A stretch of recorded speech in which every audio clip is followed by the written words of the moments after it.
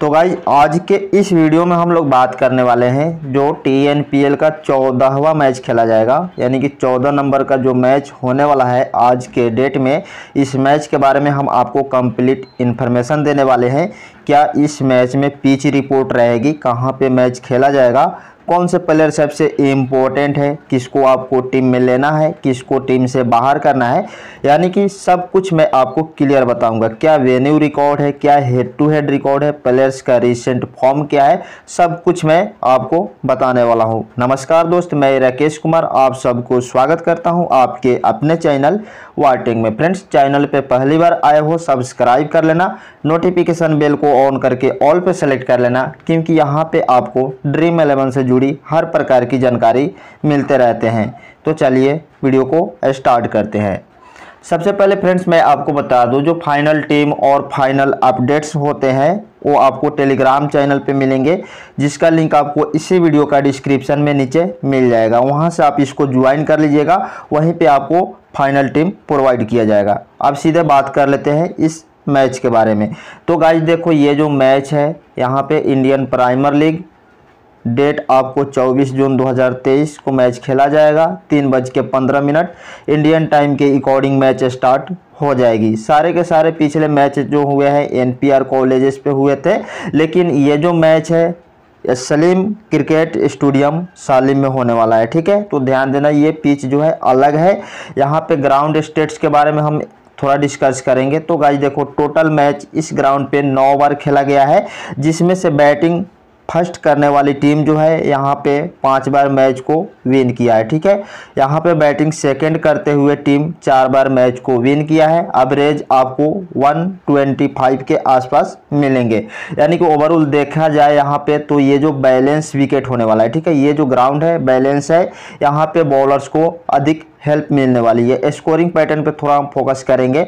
डेढ़ सौ से नीचे का स्कोर यहाँ पे इन नौ मैचेस में आठ जो मैच हुए हैं, उसमें से डेढ़ सौ से नीचे का स्कोर बना हुआ है, ठीक है? आठ मैच में। बाकी यहाँ पे आप देख सकते हो, डेढ़ सौ से लेकर के एक सौ उनहत्तर के बीच एक बार भी नहीं बना हुआ है और एक मैच में यहाँ पे एक सौ सत्तर से एक सौ नवासी स्कोर बना था, ठीक है? एक सौ नब्बे से पार एक बार भी स्कोर नहीं गया है, ठीक है? तो इसका मतलब यहाँ पे है कि बॉलिंग को पूरी तरफ़ से बॉलर्स को हेल्प मिलेगी, पूरी तरह से बॉलर्स को हेल्प मिलने वाली है। तो इस टीम में आपको इस मैच में टीम कैसे बनाना है, सारे के सारे जो बॉलर्स होंगे उसको आपको पिक करने होंगे। तभी आप यहाँ पे मैच में विन करेंगे। अब यहाँ पे देखो पेसर और स्पिनर्स के बारे में डिस्कस कर लेते हैं। ठीक है कि इस ग्राउंड पे पेसर को हेल्प है या स्पिनर को हेल्प है? तो इन टोटल नौ मैचेस में यहाँ पे पेसर ने अड़सठ विकेट्स निकाले हैं। ठीक है? वहीं स्पिनर ने चौवन विकेट्स निकाले तो ध्यान देना, यहाँ पे स्पिनर्स भी गेम में रहे रह रहे हैं। बाकी यहाँ पे आपको पेसर को अधिक लेना है, ठीक है? पेसर कौन होते हैं? जो right arm medium right arm medium fast गेंदबाज होते हैं, वो पेसर होते हैं। स्पिनर कौन होते हैं? जो leg break googly right right right arm off spinner होता है, एक लेफ़्ट आर्म स्पिनर होता है, ठीक है? तो ये होता है स्पिनर। चाहे लेफ़्ट आर्म चाइना मन भी हो गया, ये भी स्पिनर होने वाले हैं। सारे प्लेयर्स के ऊपर हमने मेंशन कर दिया है कि कौन कौन से प्लेयर्स है ठीक है? आ, किस स्टाइल में बॉलिंग करता है किस स्टाइल में बैटिंग करता है ठीक है? तो अब सीधे यहाँ पे हम लोग बात कर लेते हैं प्लेइंग एलेवन ठीक है? जो एन आर के का जो पॉसिबल प्लेइंग एलेवन रहने वाला है इसके ऊपर हम डिस्कस करेंगे। तो गाइज़ देखो यहाँ पे अरुण कार्तिक टीम का कैप्टन। इनके साथ ओपनिंग करेंगे अरुण कुमार निशेज राजगोपाल है, जो वन डाउन आएँगे। सोनू यादव चार नंबर पे आएँगे। Ajitesh Guruswamy wicket keeper section से मिलेंगे आपको, पाँच नंबर पे आएँगे। ठीक है, ऋतिक स्वर्ण विकेट कीपर से मिलेंगे छः नंबर पे आएँगे। मिथुन है, सात नंबर पे आएँगे। लक्ष्य जैन है, आठ नंबर पे आएँगे। एस मोहन प्रसाद नौ नंबर पे आएँगे। या फिर यहाँ पे श्री निरंजन भी खेल सकते हैं। ठीक है, दस नंबर पे संदीप वारियर है और एम प्रिया पुरियाजोफू है। ठीक है? तो ये हो गया आपका प्लेइंग एलेवन बाकी यहाँ पे सब्सटीट्यूट में कौन कौन से खेल सकते हो आप देख सकते हो। सूर्य प्रकाश, यहाँ पे मिथुन विंगोस और यहाँ पे श्री निरंजन, ठीक है? ये सब्सटीट्यूट प्लेयर खेल सकते हैं। अब गाइज़ यहाँ पे हम लोग बात कर लेते हैं सीधे। रिसेंट का जो फॉर्म है प्लेयर्स का, वो देखेंगे। और यहाँ पे हेड टू हेड क्या है वेन्यू रिकॉर्ड क्या है, ये सब के बारे में हम यहाँ पे बात करने वाले हैं, ठीक है? तो यहाँ पे देख सकते हो आप, Arun Karthik, zero four, zero, बत्तीस, पचासी है, ठीक है? रिसेंट स्कोर दो मैचेस तीन मैचेस से बिल्कुल फ्लॉप जा रहा है। बाकी यहाँ पे दो मैचेस में इसका स्कोर जो है रिसेंट फॉर्म ठीक ठाक है। वेन्यू पर तीन मैच में चौंसठ रन, इक्कीस का एवरेज है और हेड टू हेड में छः मैच में एक सौ उनासी रन, तीस का एवरेज है। तो वेन्यू और यहाँ पे हेड टू हेड दोनों ठीक ठाक है, आप अपने टीम में पिक कर सकते हो। अगला प्लेयर अरुण कुमार है राइट हैंड बल्लेबाज राइट आर्म ऑफ़ स्पिनर है, ठीक है?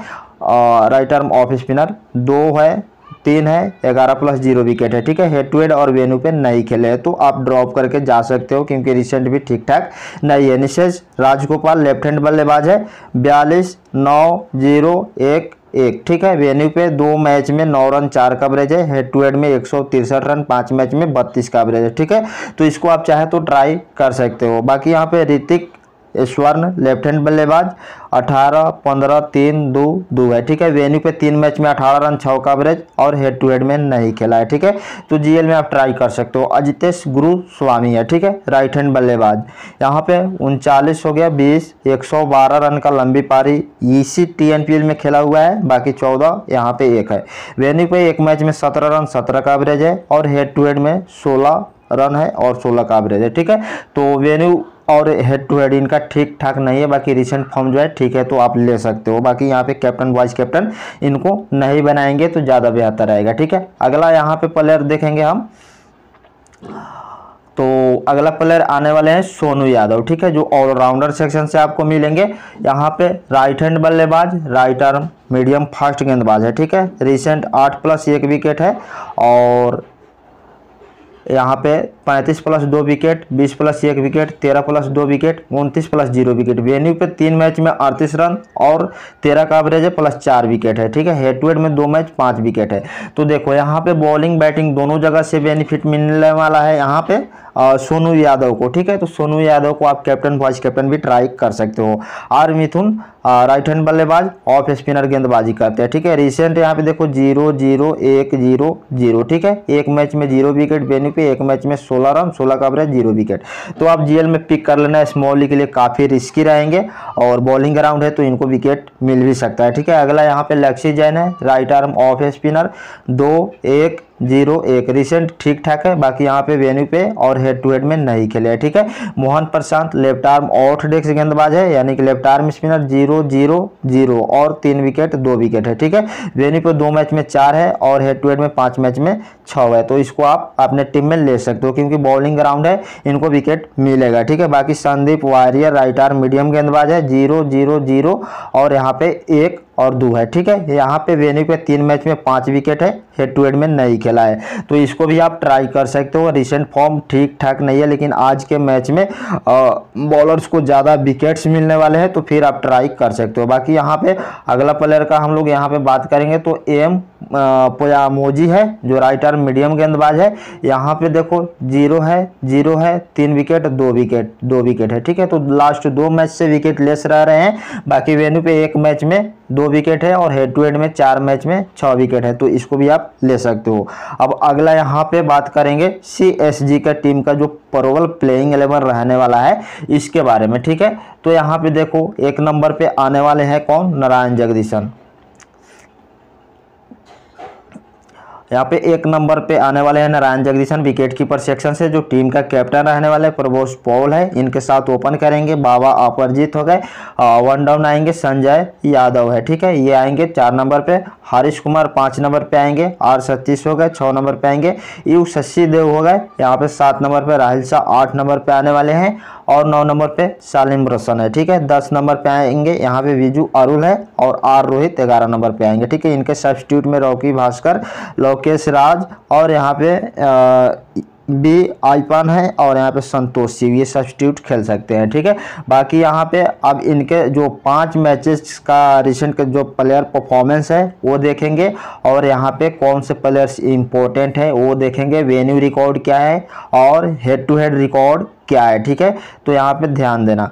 गाइज़ सबसे पहले हम लोग यहाँ पे बात कर लेते हैं। नारायण जगदीशन का, जो राइट हैंड बल्लेबाज हैं और रिसेंट सैंतीस चार तेरह पैंतीस उन्नीस, ठीक है? तो रिसेंट एवरेज है, इसको आप पिक कर सकते हो। बाकी बेनी पे तीन मैच में उनचालीस रन, तेरह का एवरेज है। हेड टू हेड में काफ़ी गजब का पारी इन्होंने खेला है। पाँच मैच में दो सौ उन्नीस रन, चौवालीस का एवरेज है, ठीक है? तो इसको आप ले सकते हो। चाहे तो आप जीएल में कैप्टन वाइस कैप्टन भी ट्राई कर सकते हो, ठीक है? संतोष शिव, यहाँ पे लेफ़्ट हैंड बल्लेबाज है। एक चौदह, तेरह सॉरी इकतीस, यहाँ पे आठ, नौ है, ठीक है? वेन्यू को दो मैच में उनचालीस रन अनिज का एवरेज है हेड टू हेड में नहीं खेला है। तो इसको भी आप जीएल में ट्राई कर सकते हो।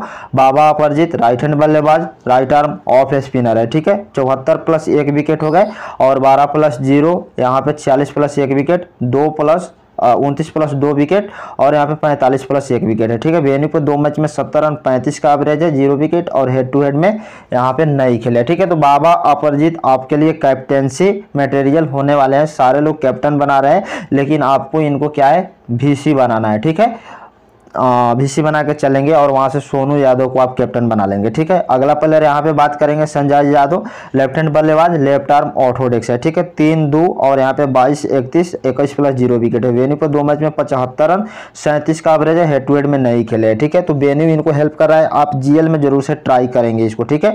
अब यहाँ पे उत्तरश्मी शशि देव है, ठीक है? यहाँ पे लेफ़्ट हैंड बल्लेबाज है।